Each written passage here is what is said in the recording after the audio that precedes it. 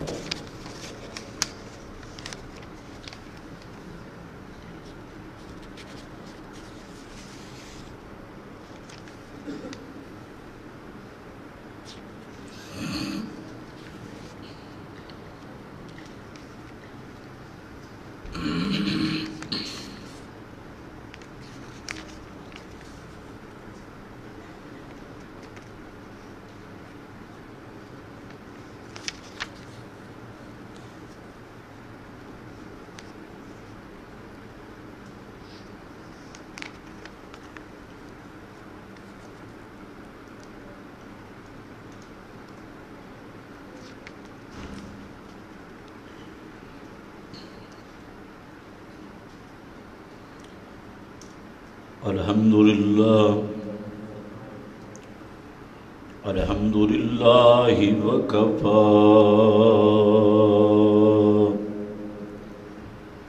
वस्सलातु वस्सलामु अला सय्यिदिर रुसुल। अला सय्यिदिर रुसुल व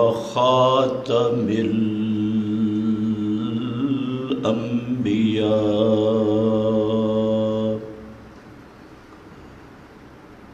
अम्मा बादु फ़अऊज़ु बिल्लाहि मिनश शैतानिर रजीम बिस्मिल्लाहिर रहमानिर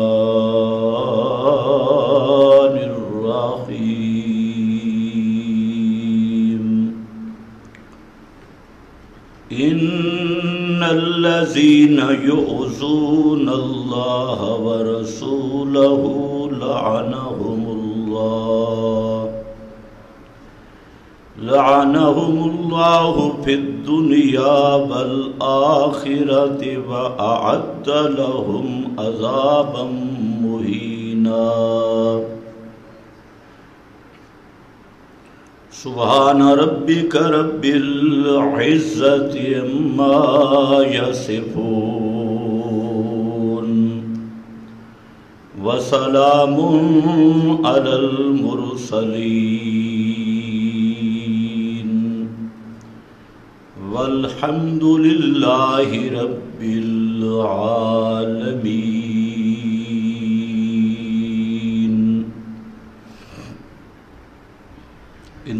इंतहाई काबिल कदर, बुज़ुर्गों और भाइयों, सूरतुल अहज़ाब की एक आयत तिलावत की है। यूँ तो सूरतुल अहज़ाब में नबी करीम सल्लल्लाहु अलैहि वसल्लम के आदाब, हुकूक और अजमतों का बयान है। तीन चीज़ें बड़ी सराहत के साथ इस सूरत में बयान हुई हैं और उनमें से एक आयत ये है जो तिलावत की, इसमें अल्लाह रब्बुल इज़्ज़त ने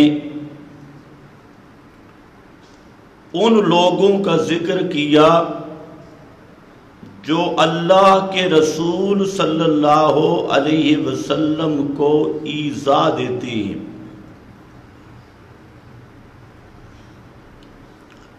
ईजा के दो माने ही। एक ईजा का माना है तकलीफ़ देना, परेशान करना। और एक ईजा का माना है बेअदबी करना, गुस्ताखी करना। और सब्बो शतम करना।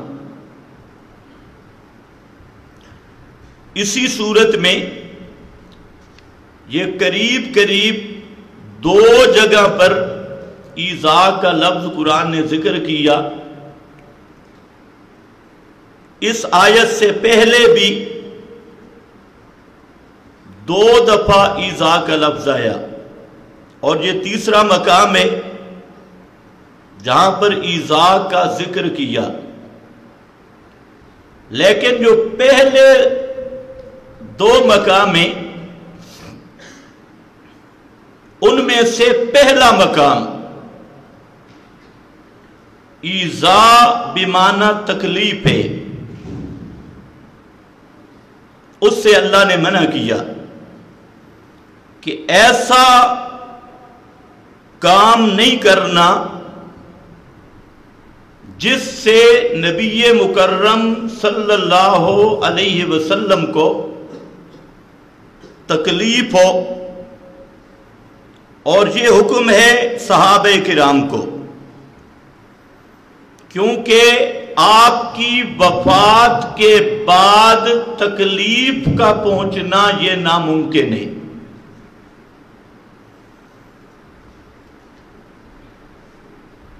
ये बात जरा अच्छी तरह से नशीन कर ले। तो यहाँ ईजा का माना तकलीफ़ देना। परेशान करना। वो क्या है? नबी करीम सल्लल्लाहु अलैहि वसल्लम के घर के आदाब ज़िक्र किए। हज़रत जैनब रज़ी अल्लाह तहा का वलीमा था। तो सहाब किराम कुछ देर जायद बैठ गए। जिससे आपको परेशानी लाक हुई। आप बार तशरीफ़ ले गए तो ये गपशप के माहौल में, दीनी गपशप थी। उसमें बैठ गए। तो आप पर ये बैठना गिरा गुजरा, क्योंकि और काम मुँह की मसरूफियत भी थी। तो अल्लाह ताला ने इस मकाम पे अदब ज़िक्र किया। और वो ये है, या अयुहल्लजीना आमनू, ए ईमान वालो, ला तदखलू बुयूतन नबी नबी के घर में दाखिल नहीं होना, इल्ला लकुम, मगर जे के तुम्हें इजाज़त दी जाए। ये पहला अदब कि पैगंबर करीम के घर में बगैर इजाज़त के दाखिल नहीं होना।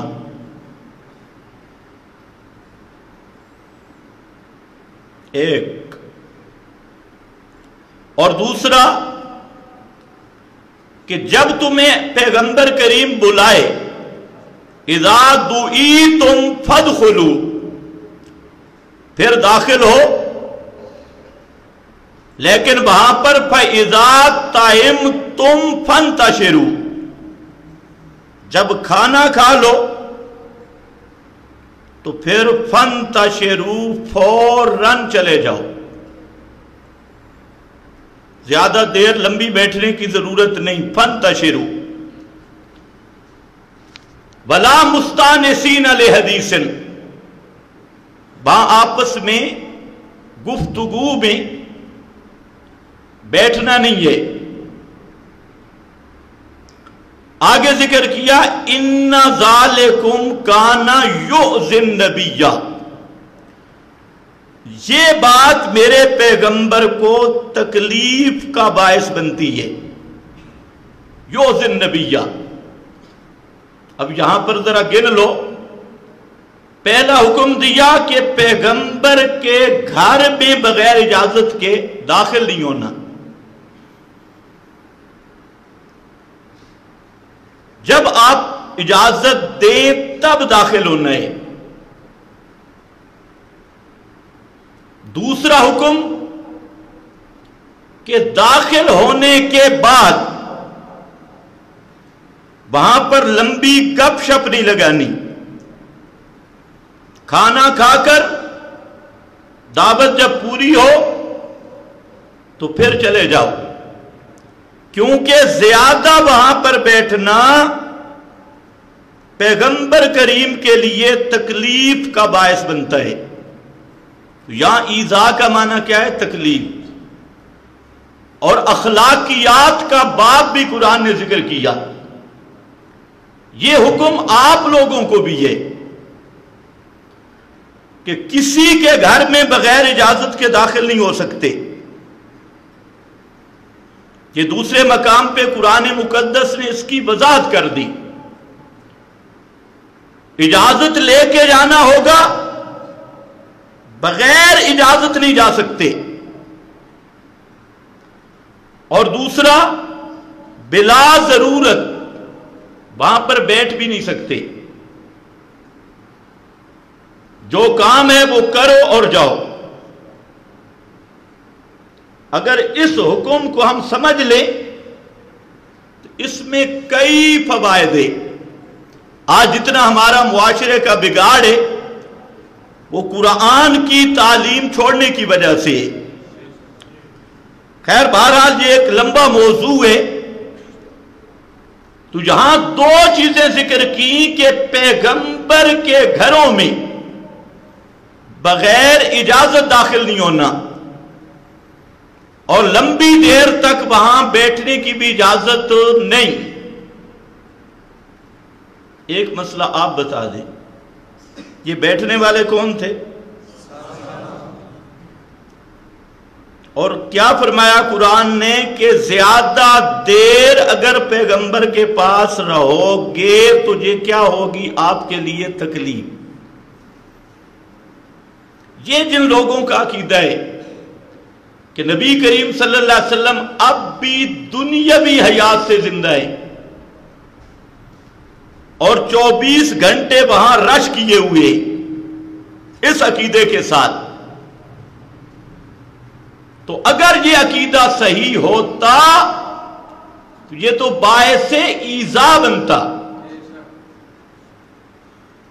पता नहीं आपको समझ भी आई है कि नहीं? अगर सहाबा थोड़ी देर बैठ जाए तो कुरान ने मना किया कि ये बात पैगंबर करीम के लिए तकलीफ़ का सबब है। और आज इतना रश और हयात भी दुनिया भी देखते भी हैं, सुनते भी हैं और सिर्फ़ एक ही काम है, वालेकुम सलाम वालेकुम सलाम वालेकुम सलाम वालेकुम सलाम वालेकुम सलाम वालेकुम सलाम। तो ईमान से सोचो ये अकीदा अदब वाला है या बेअदबी वाला है? अल्लाह समझने की तोहफी कथा मैं इसमें बेअदबी है, अदब नहीं। तो बहरहाल, मैं ये अर्ज़ कर रहा था कि ईजा का माना जहाँ क्या है, तकलीफ़ है। फिर अगली आयत में ज़िक्र किया। अच्छा इसी में एक और हुक्म भी ज़िक्र किया। फरमाया कि पैगंबर करीम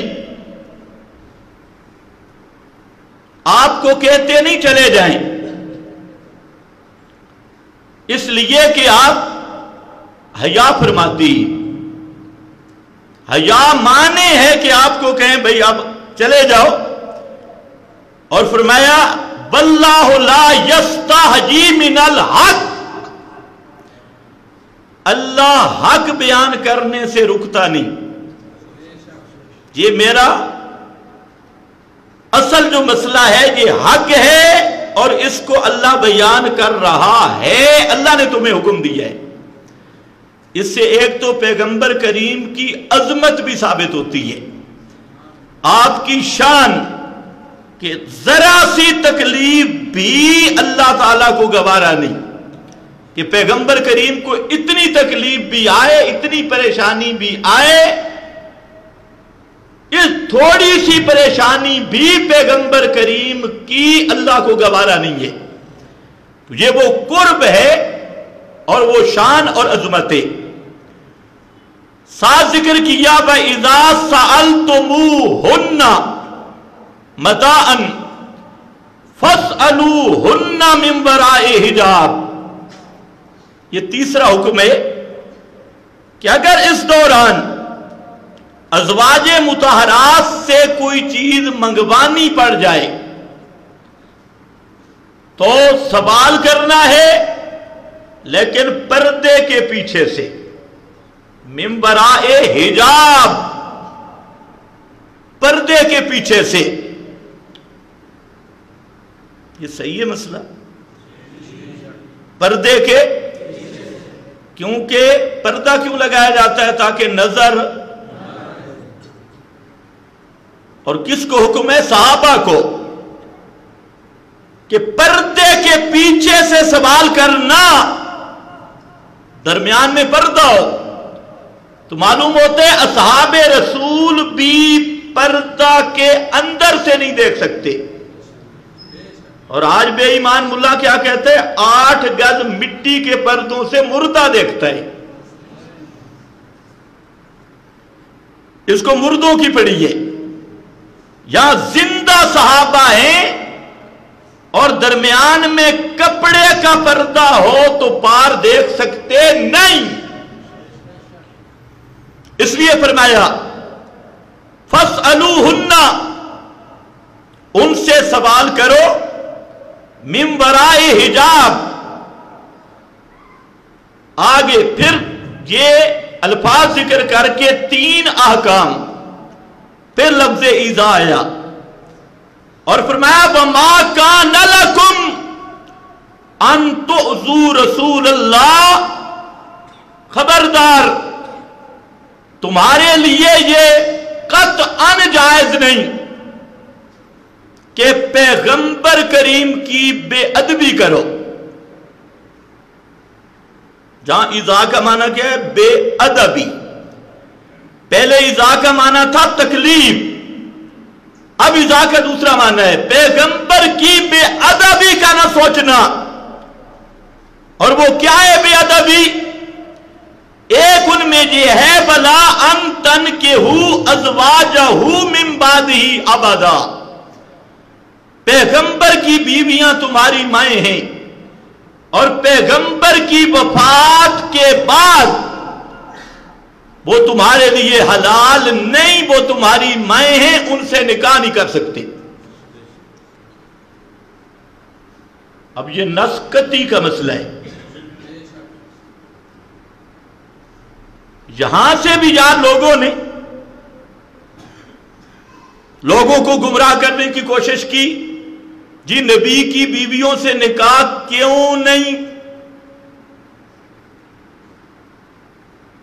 ये सवाल करते हैं। पैगंबर करीम की बीवियों से निकाह आपके बाद क्यों नहीं? आगे होते हैं, सारे लम या बुझ। वो इंतज़ार करते हैं मौली साहब खुद बताएगा। जी इसलिए कि पैगंबर करीम ज़िंदा है। इसलिए आपकी बीवियों का बाद में निकाह किसी से नहीं। ये कहते हैं कि नहीं कहते?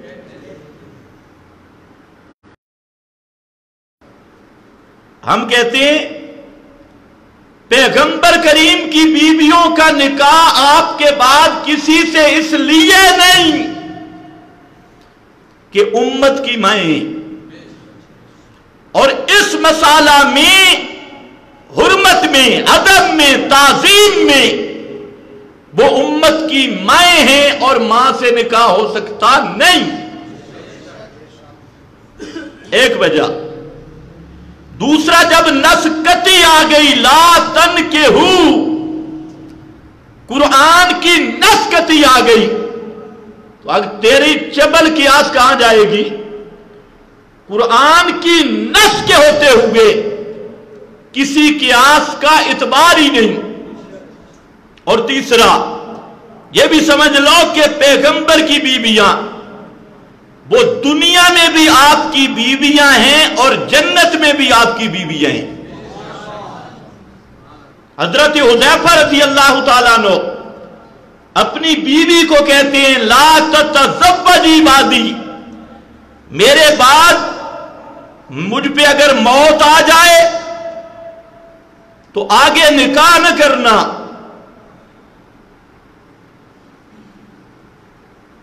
क्यों? फरमाया, मैंने अल्लाह के नबीर से सुना है कि जिस औरत के दो खामंद हूँ, एक मर जाए, वो आगे फिर निकाह कर ले तो वो दूसरे खामंद के साथ जन्नत में जाएगी। और मैं चाहता हूँ कि तू मेरे साथ जन्नत में आ। और आगे ज़िक्र किया वाले जाले का हुर्रमा अजवाजुन्नबी यही वजह थी कि अल्लाह ने पैगंबर की बीवियों अजवाज मुतारात को उम्मत पे हराम किया, माँ का दर्जा दिया ले अन्नहू अजवाजू फिर दुनिया व अजवाजू फिर आखिरा। इसलिए कि पैगंबर की बीवियाँ दुनिया में भी आपकी बीवियाँ हैं और जन्नत में भी आपकी बीवियाँ हैं। तो फरमाया, ईजा न देना जहाँ, ईजा का माना बे अदबी है। फिर तीसरे मकाम पे ईजा का लफ्ज आया जो मेरा मौजू गुफ्तगु है। ये इसलिए मैंने वजात कर दी कि बाद लोग ईजा का मफहूम नहीं समझते। हर जगह पे ईजा का मफहूम जुदा है और उस पर करीना मौजूद है। पहला जो मैंने कहा, तकलीफ़ और गिरा गुजरने वाला, वो तो है, या युहल्लदीना आमनू। और वहाँ बेअदबी वाला माना इसलिए नहीं बन सकता कि पैगंबर की बेअदबी मोमिन नहीं कर सकता। वो या अल्लादीन आमनु खुद बता रहा है कि वो तभी तकलीफ़। है और जहाँ तीसरा मकाम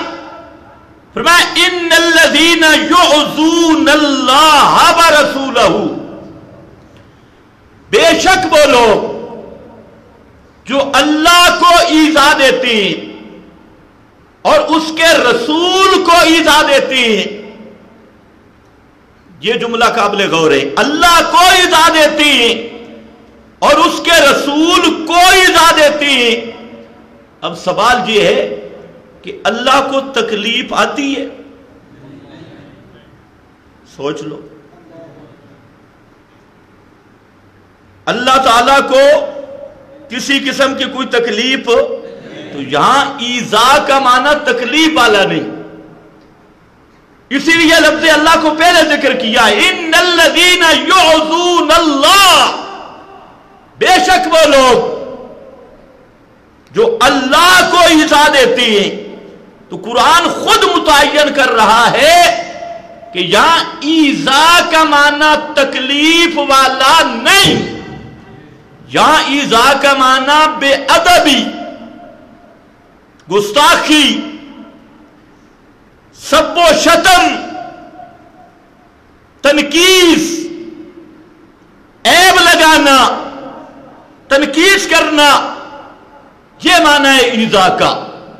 और उसकी दलील लफ्ज अल्लाह को पहले ज़िक्र किया। अल्लाह ताला की बेअदबी लोगों ने की। अल्लाह ताला की तनकीस लोगों ने की। अल्लाह ताला पर ऐब लोगों ने लगाए। लेकिन अल्लाह को तकलीफ़ कोई नहीं दे सकता, वो तकलीफ़ से पाके ऐब लगाए कि नहीं? क्या ऐब? अल्लाह का शरीक बनाना यह सबसे बड़ा अल्लाह पर ऐब लगाना है।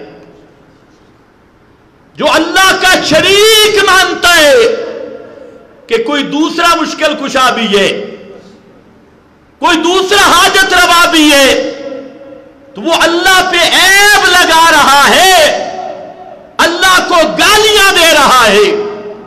सब वो शतम कर रहा है। और अल्लाह की गुस्ताखी और बेअदबी की हद पार कर रहा है, क्योंकि अल्लाह की इज़्ज़त तो ही दे उसकी वहदानियत, ये उसकी इज़्ज़त की चादर है, और जो इस चादर को फाड़ता है, शिरक के ज़रिए, और रब का शरीक पैगंबर को बनाए, तब भी वो अल्लाह को गालियाँ देने वाला है। किसी बली, पीर, फकीर ज़िंदा मुर्दे को रब का शरीक बनाए, उस जालिम ने अल्लाह को गालियाँ दिए। और खुद हदीस में अल्लाह फरमाते शाता मानी इब्नो आदम। ए, आदम का बेटा मुझे गालियाँ देता है। आदम का बेटा मुझे गालियाँ देता है। वो क्या गालियाँ हैं? वो कहते इतखल्लाह वालादा। कि अल्लाह ने दूसरों को भी इख्तियार दे रखी पुतरेला बना रखा है। जिस तरह बेटा बाप के घर का मुख्तार होता है, अल्लाह ने दूसरों को भी इख्तियार दिए हैं खोटी किस्मत खरी करने के। बेटे बेटियाँ देने के, रिज्क में वसत करने के और किस्मतें तकसीम करने के, रिज्क तकसीम करने के, हाजतें मुश्किलें पूरी करने के, अल्लाह ने इनको ताकतें दे रखी है।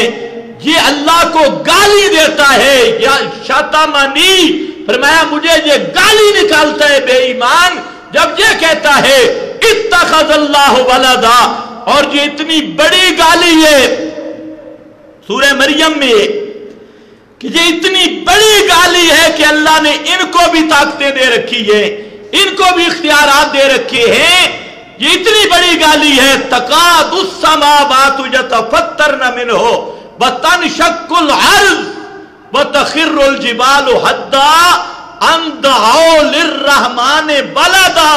जब मुशरक यह कहता है कि अल्लाह ने इस बाबे को भी ताकतें और पावर दे रखी है, अपना पार्टनर बना रखा है, हिस्सेदार बना रखा है तो ये इतना भारी जुमला है, आसमान कांपता है, गिरने के लिए ज़मीन हिलती है चिरने के लिए। और पहाड़ ये कांपते हैं कि ये फट जाएँ सिर्फ़ इस जुमले पर। अंदाउल रहमाने वाला दा जब मुशरक ये कहता है, अली मुश्किल कुशा, पीर मुश्किल कुशा, फलाना हाजत रबा। अल्लाह ने इनको ताकतें दे रखी। ये ऐसा जालिम बदबख्त है कि इस पर पूरी कायनात का नजम दरम बरम होने लगता है।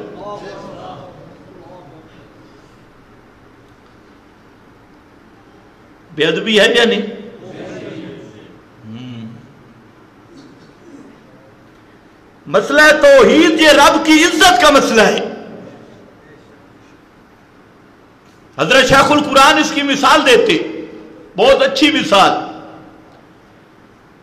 फरमाते कि इंसान तू अपनी गैरत भी देख और सबसे बड़ी गैरत होती है अल्लाह के नबियों की। और उससे बड़ी अंबिया से भी बड़ी गैरत है मोहम्मद मुस्तफ़ा सल्लल्लाहु अलैहि वसल्लम। और अल्लाह के महबूब फरमाते हैं कि मैं सबसे बड़ा गैरत वाला हूँ और मुझसे बड़ी गैरत वाला अल्लाह रबुल इज़्ज़त है।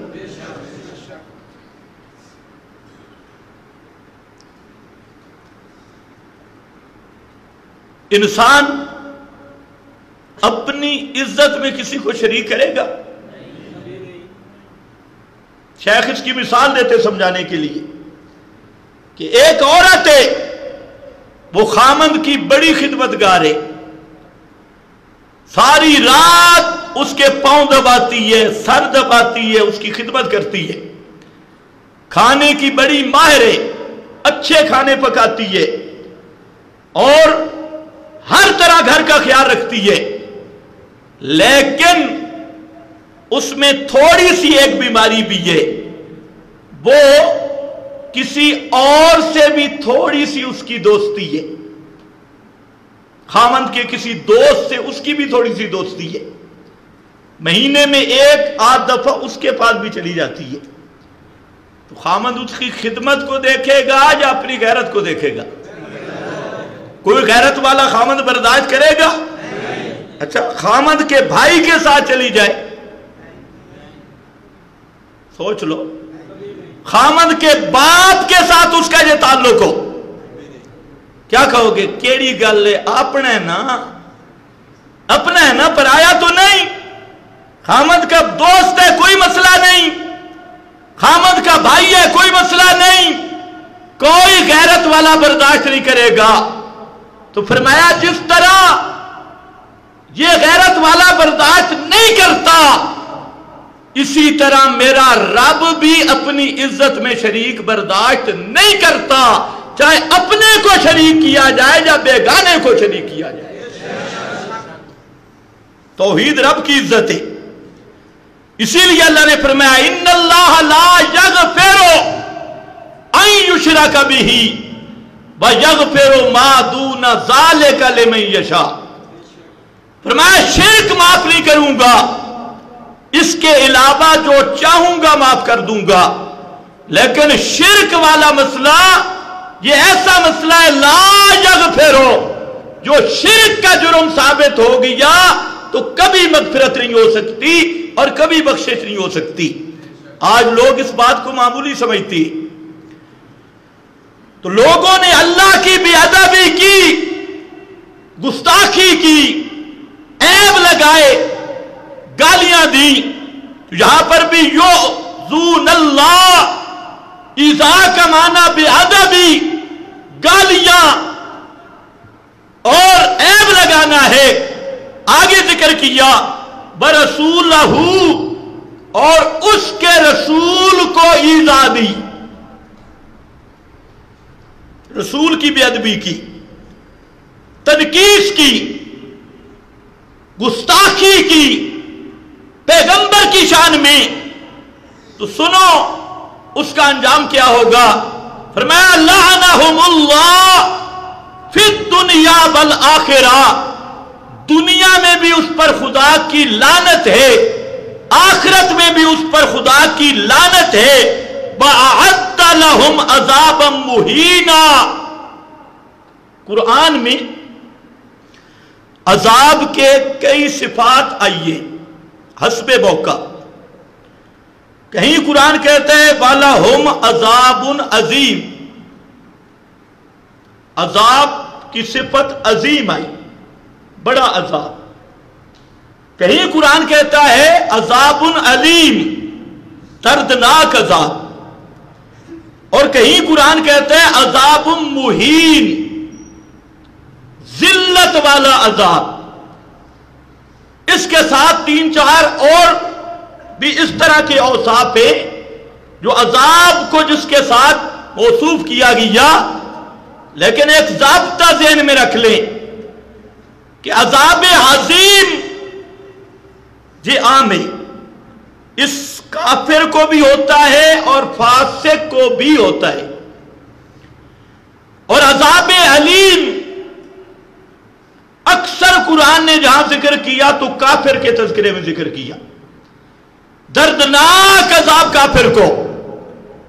और अजाब मुहीन अव्वल से लेके आखिर तक कुरान का मुताला कर लो। जहाँ अजाब मुहीन आया है तो ये सजा सिर्फ़ काफिर की सजा है, फासिक या फाजिर की सजा अजाब मुहीन कुरान ने ज़िक्र नहीं किया। यहाँ पर क्या आया? अजाब आदलहम अजाबम मुहीना। उसके लिए अजाब मुहीन तैयार किया। तो अल्लाह ने फैसला कर दिया कि जो अल्लाह और उसके रसूल को ईजा देता है उसके लिए अजाब मुहीन है, यानी वो पक्का काफिर है और उस काफरों वाली सजा का वो मुस्तक है। जरा सोच के बेशक आगे करना। काफरों वाली सजा का मुस्तक है। तो कुरान मुकद्दस की इस आयत ने बता दिया कि जो अल्लाह के रसूल को ईजा दे वो कौन है? ओ, पिछले बोलो कौन है? वो कौन है? ये किसका मसला है? कुरान। ईजा बेमाना बेअदबी ईजा बेमाना गुस्ताखी। ईजा बेमाना तनकीस जो पैगंबर की तनकीस करे, पैगंबर की बेअदबी करे पैगंबर की गुस्ताखी करे तो उसके लिए अजाब मुहीन वो ऐसे है जैसे मुशरक काफिर है। इसी तरह गुस्ताखे रसूल और पैगंबर को इजा देने वाला भी काफिर है।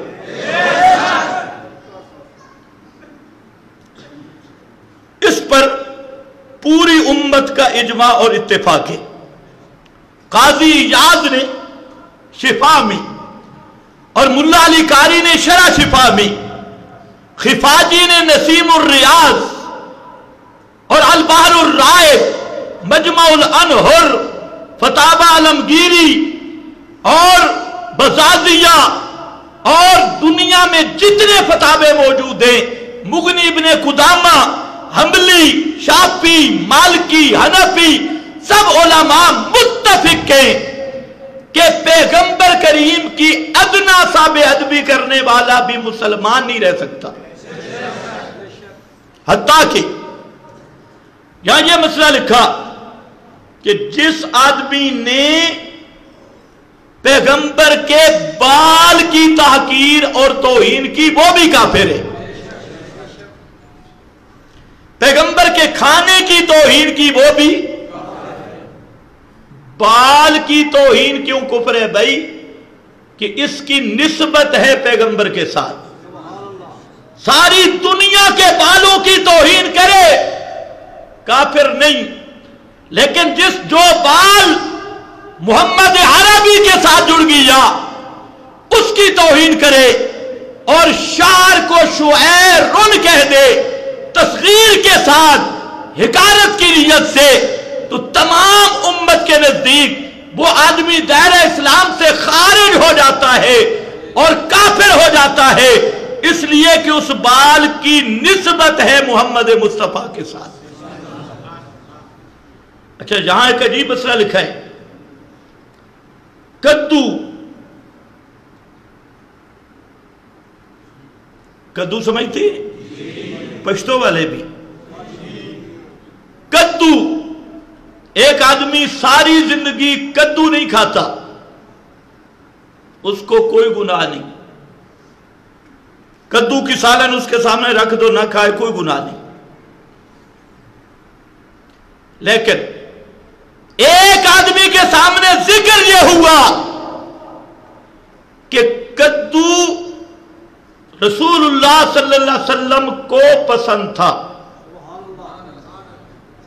अब वो बोला नहीं। उसके माथे के आसार से नफरत जहर हुई। माथा बिगड़ा और हिकारत ज़ाहिर हुई। बड़े बड़े आइम्मा, जिनमें काजी अबू यूसुफ तो सिर्फ़ मुफ्ती नहीं, काजी भी है, और बकत का इमाम, बाकी सब कहा ने लिखा कि ये शख्स मुर्तद हो गया क्योंकि कद्दू की यहाँ बात नहीं, कद्दू का जो इंतसाब पैगंबर की तरफ़ हो गया अब अगर उसकी तोहीन करेगा तो काफिर बन जाएगा। इस पे सब ओलमा मुतफिक के। पैगंबर के जूते की तोहीन करे, क्या बनेगा? बोलो, मैंने बात तो आगे करनी है। जूती की तोहीन करे, क्या बनेगा? अच्छा वैसे पूरा बाज़ार आप सदर में चले जाएँ, जूतों वाली दुकान, सारी जूतों को उल्टा कर दें, कुछ भी नहीं होगा। ये अलग बात है कि दुकानदार आपको मारे, लेकिन होगा कुछ भी नहीं शरी लेकिन वो जूता जिसकी निस्बत मोहम्मद मुस्तफ़ा से जुड़ गई, अब उस जूते का हल्का नाम लेना भी कुफर है। तो क्या मैं पूछ सकता हूँ? पैगंबर के वो बाल जिनकी नस्बत नबी की तरफ़ हो, उन बालों की तोहीन करने वाला बिल इत्तेफाक का फिर। जिस जूती की नस्बत मोहम्मद मुस्तफ़ा की तरफ़ हो, उस जूती की तोहीन करने वाला बिल इत्तेफाक काफिर जिस खाने की नस्बत मोहम्मद मुस्तफ़ा के वजूद की तरफ़ हो, उस खाने की तोहीन करने वाला बिल इत्तेफाक काफिर और जिन सहाबा की नस्बत मुस्तफ़ा की तरफ़ हो। जिन सहाबा की नस्बत, अहले पैते अतहार की नस्बत मोहम्मद मुस्तफ़ा की तरफ़ हो, उनकी तरह मेली आँख देखने वाला मुसलमान होगा या काफिर होगा? यह अजीब बात है, जहाँ पर मुफ्तियों को दारुल इफ्तार नज़र आता है। बड़े बड़े मुफ्ती फंसी। अब फैसला ये नहीं करना, ये बात सुन लो। कलियर कट मसला है कि जो मोहम्मद आरबी के किसी सहाबी की तोहीन करता है, उसके काफिर होने में कोई शक नहीं। अब मसला तेरे पास है कि जो मुफ्ती उसे काफिर न कहे, वो मुफ्ती कैसे मुसलमान है?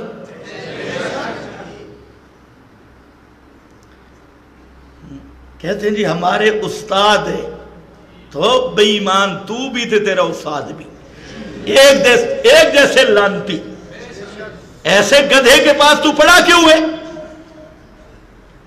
ऐसे चबल के पास तू गिया क्यों है, बेईमाना? किसने कहा तुझे बिंदियों के पास जाके पढ़? जी, कहते हैं, कुछ तो ख्याल करो, हमारे उस्ताद हैं। हमारे उस्ताद हैं, तेरे करोड़ों उस्ताद इकट्ठे हो जाए। हज़रत मुआविया के घोड़े के नाक में आने वाली उस रेत जो पैगंबर के साथ जिहाद में घोड़ा दौड़ा और टापों से वो रेत नथने में आ गई, तेरे करोड़ों उस्ताद उस रेत की शान का मुकाबला भी नहीं कर सकते। तू कौन है? तेरे उस्ताद कौन है? हम नहीं जानते। खैर हा, पैगंबर को इजा देने वाला उसके लिए दुनिया में भी लानत, आखिरत में भी लानत, और उसके लिए अजाब मुहीन है।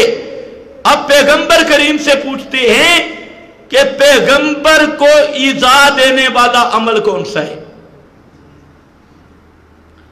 फरमाया, अल्लाह अल्लाह फ़ी असहाबी, ला तक तक जू हम गरजा मिम्बादी मन अहब्बहुम फबे हुब्बी अहब्बहुम, वमन अब गजहुम फबे बुगजी अब गजहुम वमन आजाहुम, फकद आजानी व मन आजानी, फकद आजल्ला।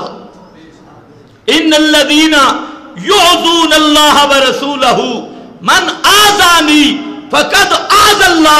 फरमाया, लोगो जो मेरे सहाबा की बेअदबी करे तनकीस करे सहाबा पे एतराज़ करे सहाबा की शान में बकवास बाजी करे ये वो आदमी है जो मुझे भी ईजा दे रहा है और अल्लाह की भी बेअदबी कर रहा है। तो ये मुसलमान हो गए या काफिर? अदलहुम अजाबम मुहीना। ये है पक्का काफिर। ये कुरान का मसला है कि पैगंबर के सहाबी पे तनकीद करने वाला, उस पे सबको शतम करने वाला, उसकी तनकीद करने वाला, चाहे वो तारीख के गंदगी में मुँह दाखिल करके करे, चाहे झूठी रिवायतें बना बनाकर, चाहे आलू सुन्नत की किताबों के झूठे हवाले देकर या किसी और किताब के तो जो सहाबा पे इल्ज़ाम तराशी करता है तनकीस करता है, वो पैगंबर को ईजा देता है, अल्लाह को ईजा देता है, और जो अल्लाह और उसके रसूल को ईजा देता है आदम अजाबम मुहीना। कुरान का फैसला ये है कि वो काफिर है और हमेशा जहन्नम में रहेगा। और भी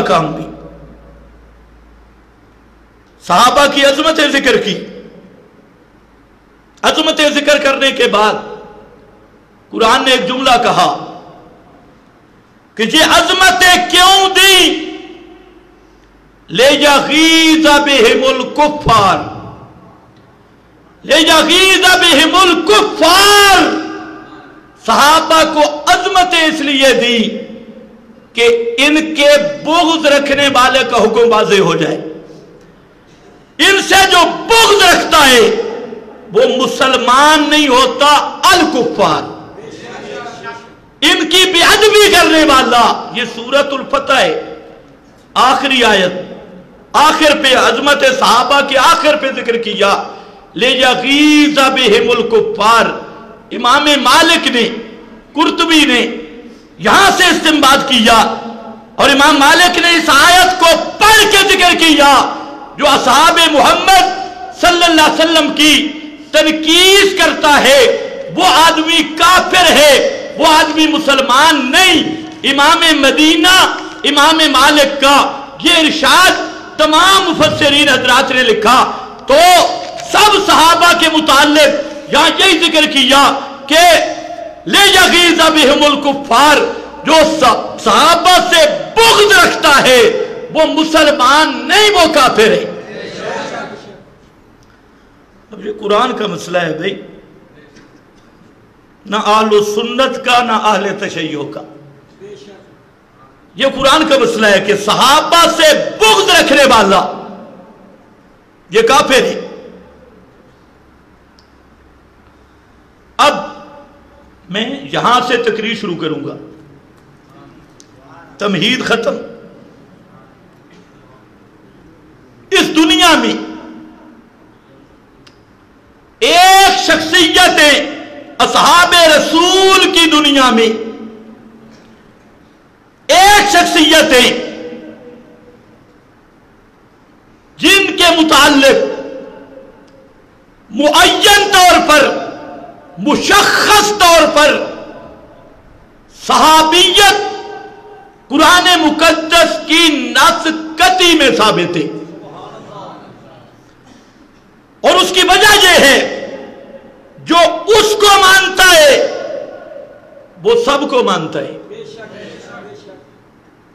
यह भी एक सवाल था कि एक की सोहबत, एक की सहाबियत, कुरान ने कतई तौर पे मुशखस तौर पे मुन तौर पे इत्तेफाकी तौर पे नस कति कतियो सबूत कतियो दलालत सरियो दलालत में बयान कर दी। और याद रखो, ये अल्लाह का कलाम है, हिकमत से भरा हुआ। अल्लाह को पता था, एक की सोबत कति हो जाएगी। तो जो एक को मानेगा, वो किसी का इनकार नहीं कर सकेगा। आज भी देख लो, जिसने उसको माना, उसने सबको माना। और जिसने उसको नहीं माना उसने किसी को नहीं माना। और वो कौन है? सैदना सिद्दीक अकबर रज़ी अल्लाह अनहो। अब मेरे इस बयान को आलू सुन्नत भी तवज्जो से सुने और तलब हक के मुतलाशी आहले तशैयो तक मेरी आवाज़ पहुँचे, वो भी तवज्जो से सुने। इंशाला एक दोने दो से दो दूनी चार। कुरान मुकदस का मसला। और नस कती और नस भी ऐसी कि तमाम आले तशैयों के मुफसरीन तमाम आहलु सुन्नत के मुफसरीन तमाम आले तशैयों के आइम्मा, तमाम आलू सुन्नत के अकाबिर इस बात पे मुतफिक के कि इस आयत में सिवाय अबू बकर सिद्दीक के किसी का तस्करा नहीं।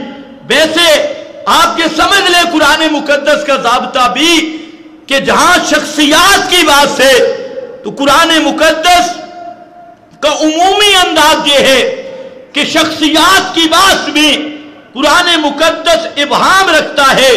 उसकी तफसीर में कई कई अकबाल होते हैं कि ये आयत किसके बारे में नाजिल हुई?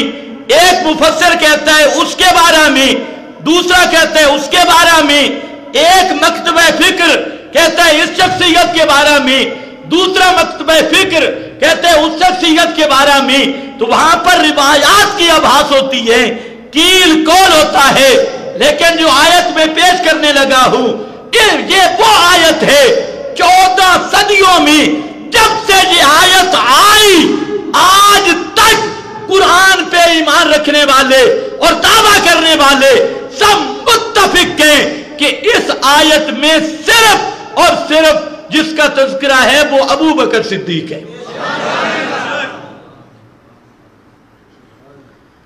आलू सुन्नत की बात नहीं कर रहा, ये तो वैसी मानती तो हकीकी आलू सुन्नत है। और आले तशैयो, उसूल काफ़ी उठा के देख लें। वहाँ पर भी लिखा है, इस आयत से मुराद सिद्दीक अकबर है। अबू बकर सिद्दीक तफसीर अल बुरहान और उसूल काफ़ी में मसला और भी है। इमाम बाकर फरमाती बाकर फरमाती है, इमाम मासूम फरमाती तफसीर अल बुरहान शिया मज़हब की तफसीर उसमें लिखा है, हज़रत अली फरमाती है। यहाँ इमाम बाकर, वहाँ हज़रत अली। तफसीर अल मीजान, शिया की तफसीर। तफसीर इसना आशरी फारसी वाली, शिया की तफसीर। तफसीर तकरीबुल कुरान, ये शिया की तफसीर। इसी तरीका से तकरीबन पचास तफसीरें, जो खाल सतन शिया की तफसीरें हैं। तफसीरें साफी और इस तरह की तफसीरें सब के सब लिखते हैं। कि इस आयत में सिर्फ़ अबू बकर सिद्दीक की बात हो रही है और किसी की नहीं। इसको कहते हैं हक वो जो सर पूरा फोड़े। ये हक होता है और ये कुरान मुकद्दस के कवानीन में से है कि एक जगह पे तयन कर देता है, बाकी छोड़ देता है। बाकी उसी पे महमूल करते जाओ। जहाँ तयन किया। और पैगंबर करीम की हिजरत का वाक्य ज़िक्र किया। ये सूरह तोबा है। और ये जहन में रख लो, सूरह तोबा आखिरी सूरत है। कुरान मुकद्दस की आखिरी सूरत। हिजरत पहले हुई थी। वाकया सूरह तोबा में ज़िक्र हुआ। आपकी ज़िंदगी के आखिरी अयाम में और मकसद था शान सिद्दीक अकबर को बयान करना। हिजरत तो गुजर गई थी। अब सूरत तौबा में आखिरी सूरत में कुरान ने ज़िक्र किया और किस अंदाज में ज़िक्र किया। सुबहान अल्लाह इस पे अगर बातें हूँ, मेरे पहले भी तकरीबन चार घंटे की गुफ्तगु इस पर मौजूद है। लेकिन उससे हटकर चंद बातें ज़िक्र करूँगा कि जहाँ अल्लाह ने खुद मुन कर दिया मुशखस कर दिया। कुरान के अंदर देखो, ये बाद मकाम है कुरान का कि तीन इज़ कट्ठे ज़िक्र किए। तीन इज़ आए। क्या आए? इज़। इज़ अखराजाजीना इज़। अखराजा उल्लदीना इज़ होमा, इज़ यकूलो। ये तीन इज़ आए और इज़ आता है वाक्य को मुशखस करने के लिए। किसी वाक्य को मुन करने के लिए। मैं, मेरा पैगंबर ये वाक्य कब का है इज़ इज़ अखरजाजीना ये वो वाक्य है जब काफरों ने मेरे नबी को मक्का से निकाला था। तो ये वाक्य क्या है? हिजरत का है या कोई और है? बोलो। इस ईद ने मुतन किया कि ये वाक्य कौन सा है? इख्तलाफ हो सकता है। कई वाकयात, हज़ारों वाकयात आपकी ज़िंदगी में पेश है लेकिन फिर मैं इज़ वो मुतन वाकया जब पैगंबर को मक्का वालों ने मक्का से निकाल दिया। एक अच्छा इज़ होमा। फिर इज़ आया। मकान को मुन किया कि ये कहाँ की बात है किस जगह की बात है फरमाया, गार की बात। है इज़ होमा, जगह का ताइयो ने और तीसरा इज़ इज़ यकूलो ये बात किससे हुई थी? फरमाया सिर्फ़ एक से हुई थी। ये शख्सियत का तायो ने तीन इस ज़िक्र किए। पहले इससे वाक्य मुतन किया। दूसरे इज़ से मकान मुतन किया। तीसरे इज़ से शख्सियत और जमान मुतन किया। और ये तीन इस बता रहे हैं कि इस आयत में मुराद सिर्फ़ अबू बकर सिद्दीक है, कोई दूसरा साथ नहीं था। और यह मजमून पूरे चैलेंज के साथ कहता हूँ यह पाकिस्तान की शहीयत नहीं, ईरान, कुवैत, इराक की शहीयत अगर गैरत हो तो इस किस्म की आयत जरा हज़रत अली के लिए निकाल के दे। ये आयत है किसके लिए? सिर्फ़ सिद्दीक है ये किसी और के लिए नहीं। हज़रत अली के साथ मोहब्बत हमारा ईमान है। लेकिन मर्तबा हर एक का अपना है। शान हर एक के लिए अब जरा देख रहे हैं, तीन तयन किए ये पहला नुकता है शायद पर। इससे मुतन होगी गया अब दूसरा, फरमाया कि सानियस ने इद हुमाफिल गार। सानियस ने जहाँ पर एक बात चल पड़ी कि सानी से मुराद कौन है? इस नैन कमाना दो। सानी कमाना दूसरा। यहाँ दूसरा किसको कहा गया और पहला किसको कहा गया? इतना कुरान ने बताया, इस नैन थे दो। एक पहला था, दूसरा। एक पहला था, एक दूसरा था। और एक अव्वल था, एक सानी था। तवज्जो है? एक अव्वल था, एक एक पहला था, एक इसमें मुफसरीन परेशान हो गए कि ये सानी कौन है? पहला कौन है? कौन है? और दूसरा कौन है? सुबहान अल्लाह यह भी कुरान का एजाज है। ऐसी तर्ज पे बयान किया कि अव्वल और सानी, अव्वल, सानी, जहाँ तक शान मर्तबे की बात है तो वो तो है मोहम्मद मुस्तफ़ा लासानी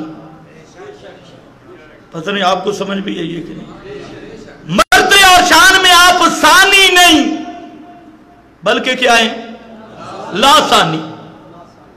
शान और मर्तबा फजीलत में मोहम्मद मुस्तफ़ा है, लासानी, सानी नहीं।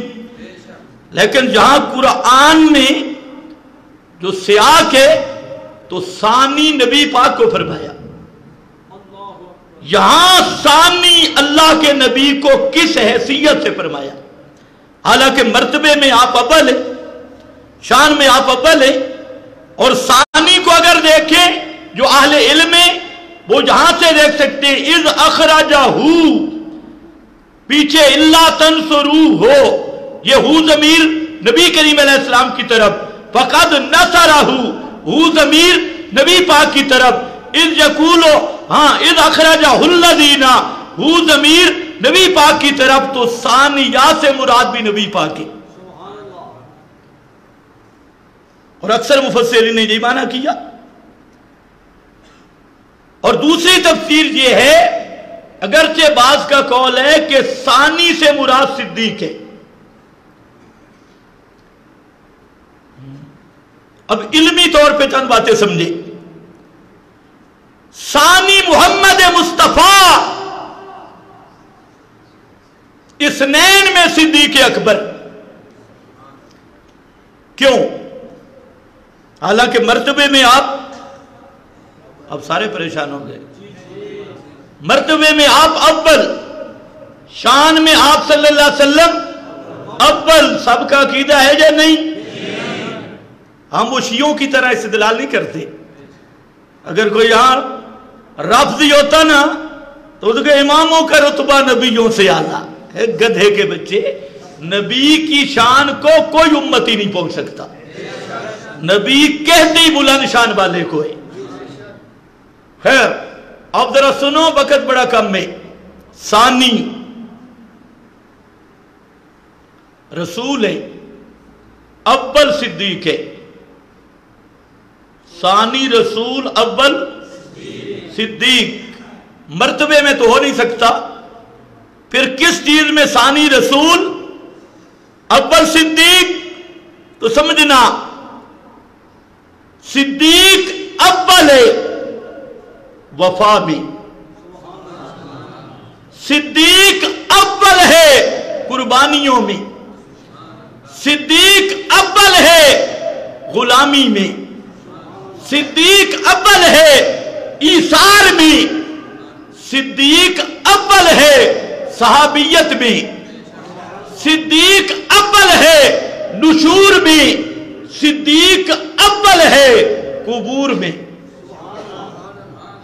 कोई तुम्हें नहीं समझ आएगी अल्लाह करे, आ जाए। अव्वल इस लिहाज से, और पैगंबर सानी है, इस लिहाज से कि जहाँ ईद हुमा फिल गार। गार में पहले सिद्दीक दाखिल हुए, दूसरे नंबर पर रसूल दाखिल हुए। इसमें भी बड़ी बात है, पहले कौन दाखिल हुए? क्यों? क्यों? अगर कोई खतरा हो, कोई मूदी कोई दुश्मन हो तो पहला बार सिद्दीक पे करे, सिद्दीक अपनी जान पेश पहले कर रहा है। कि कोई मूदी आए पहले मुझ पे हमला करे, मेरे महबूब पे हमला ना करे। अल्लाह ने उस वफा को भी ज़िक्र किया, सानिया, इस नैन, बाकी तो पैगंबर मर्तबे में अव्वल है, और सानी इस लिहाज से है कि गार में पहले सिद्दीक दाखिल हुआ और बाद में रसूल दाखिल हुए। एक बात, दूसरी वजह, उलमा जानते हैं कि जो मुजाफ होता है, यहाँ सानी मुजाफ है, इस नैन मुजाफ ले, और कानून यह है, मुजाफ तारफ हासिल करता है मुजाफुल से। मुजाफ की मारे पत होती है। मुजाफिन से मुजाफ की पहचान होती है मुजाफुन से। तो इस नैन में अबू बकर भी है, पैगंबर भी है और सानी में सिर्फ़ मोहम्मद मुस्तफ़ा है। तो अल्लाह ने बता दिया और लोगों, याद रखना, मोहम्मद मुस्तफ़ा अपनी पहचान आप है और नंबर दो मोहम्मद मुस्तफ़ा की पहचान अबू बकर सिद्दीक है। इस नैन में जमा किया कि मोहम्मद मुस्तफ़ा अपनी पहचान आप भी हैं और मोहम्मद मुस्तफ़ा की दूसरी पहचान कौन है? अबू बकर सिद्दीक भी है। तारुफ करने, करवाने वाले अबू बकर सिद्दीक भी है। इसलिए सानिया, इस नए ने सानी दो में से दूसरा और तीसरी वजह, जुमला ऐसा ज़िक्र किया, सानी पैगंबर भी बन सके, सानी सिद्दीक भी बन सके, क्योंकि दोनों की हैसियत शानो शानो, शान नबुवत में मोहम्मद मुस्तफ़ा वो अव्वल नंबर है, और शान सिद्दीकियत में हज़रत सिद्दीक अकबर वो अव्वल नंबर है। और इस तरह अंबिया में मोहम्मद का सानी कोई नहीं और या में सिद्दीक अकबर का सानी कोई नहीं। इसलिए दोनों सानी उधर भी लौट सकता है सानी, इधर भी लौट सकता है। सानी यसनैनी इज़ हुमा फिलगार जहाँ पर भी अजीब बात, इस नैन इसमें ज़ाहिर है हुमा जमीर है। इसमें ज़ाहिर में भी सिद्दीक और नबी को इकट्ठा कर दिया। इस नैन में और जमीर में भी सिद्दीक और पैगंबर को इकट्ठा कर दिया। जमीर में भी इकट्ठा, ज़ाहिर में भी इकट्ठा। अल्लाह ने बता दिया और कायनात वालों, जिस तरह हुमा जमीर में पैगंबर और सिद्दीक इकट्ठे हैं इस नैन इसमें ज़ाहिर में पैगंबर और सिद्दीक इकट्ठे हैं। इसी तरह कायनात की कोई ताकत बातिन में भी ज़ाहिर में भी सिद्दीक को पैगंबर से जुदा नहीं कर सकती। ये ज़ाहिर में भी इकट्ठे रहेंगे, बातिन में भी इकट्ठे रहेंगे। ना जाहिरन कोई जुदा कर सकता है, ना बात नन कोई आज जा मदीने में, जाहिरन इकट्ठे हैं कि नहीं? आज भी इकट्ठे हैं, इसलिए स्नैन इसमें ज़ाहिर है, हुमा जमीर है। और जमीर अंदर को कहते हैं, आप कहते हैं, मेरा जमीर ये कहता है, इसी से मिलती जुलती अरबी वाली जमीर है। वो छुपी हुई चीज़ों को ज़ाहिर करती है। तो अल्लाह ने बता दिया, अबू बकर सिद्दीक वो है। जिसकी माइत ऐसी कामिल है कि ज़ाहिर से भी सिद्दीकियत नबूबत के साथ मिली है और बातिन से भी सिद्दीकियत नबूबत के साथ मिली है। देख लो कुरान। मिनन नबी जीना। मिला कि नहीं? मिनन नबी जीना बसिद्दीकीना साथ मिले जुदा नहीं। उधर इसनैन जाहरी माइत जहरी इतिहाद, जहरी माइत है, जहरी मिलना, और इन्नहू काना सिद्दीकन नबिया। तो सिद्दीकियत वहाँ नबूवत के अंदर दाखिल है। इन्नहू काना सिद्दीकन नबिया। और जहाँ मिनन नबी जी न व सिद्दीकी ना दोनों सरहदें मिल गई, वहाँ नबी भी, सिद्दीक भी हज़रत इब्राहिम खलीलुल्लाह, और यहाँ सिद्दीकीन, जहाँ नबी जीन की नून है, वहाँ सिद्दीकीन की साद मिली हुई है। तो सिद्दीक और नबी को जुदा कोई नहीं कर सकता, जाहिरन भी, बातिनन भी, और मेरी बात नहीं इस नैन इसमें ज़ाहिर है, हुमा जमीर, ये जमीर है, यही बता रही है।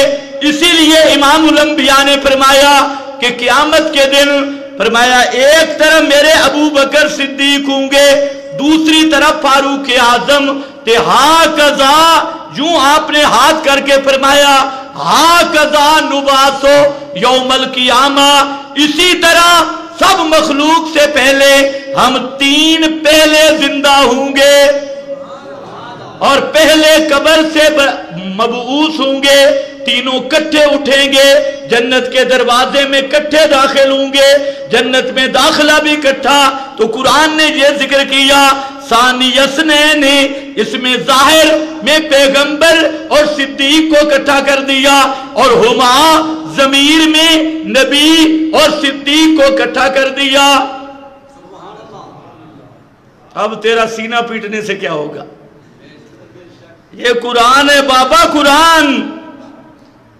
तू रिबैते उठा के फिरता है, बागे फदक, ते बागे फलाना, ते बागे फलाना। कोई ऐसी दलील लाना जो इस किताबुल्लाह से ऊपर हो। है कोई ऐसी दलील? बाकी हम तो हर मसले में अपना अकीदा बयान करते हैं कि कुरान के मध्य मुकाबिल सारी किताबों को भी समुंदर में डाल दे। नहीं मानते हम। यह आलू सुन्नत का अकीदा है, कोई तमाशा नहीं कि फलाने बाबे ने लिखी, फलाने बाबे ने लिखी, फलाने राबी ने कहा, फलाने राबी ने कहा, जो राबी कुरान से टकराए उस राबी पे भी लानत कर, उस रिवायत पे भी लानत कर। ये अकीदा है, तमाशा नहीं। फलाने बाबे ने जो लिखा। बस जाकिर को और चीज़ तो आती कोई नहीं। और तुम्हारी फलानी किताब में लिखा, मैंने कहा, हमारी किताब में उसको तनूर में डाल। हमारी है ना? तो हम कहते हैं, डाल तनूर में। हमारी किताब कुरान है। वो किताबड़ी हमारी नहीं, जो कुरान से टकराए मारिफ इबन कुतैबा में लिखा है इबन असीर में लिखा है अलविदाया में लिखा है मैंने कहा, सबको तनूर में डाल दे।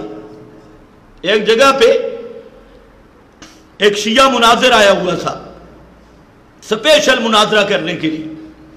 ओ, मोहम्मद हुसैन ठक्कू का शागिर्द था।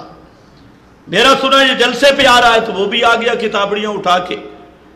तो मुझे उन्होंने कहा कि वो मुनादरे के लिए शिया आया मैंने कहा, जी, हाजिर है। लेकिन तकरीर पहले होगी मुनाजरा बाद में होगा। क्योंकि वो हमारी तकरीर खराब करना चाहती। मैंने तकरीर की, तकरीर में मैंने कहा, सुन लो मेरी बात।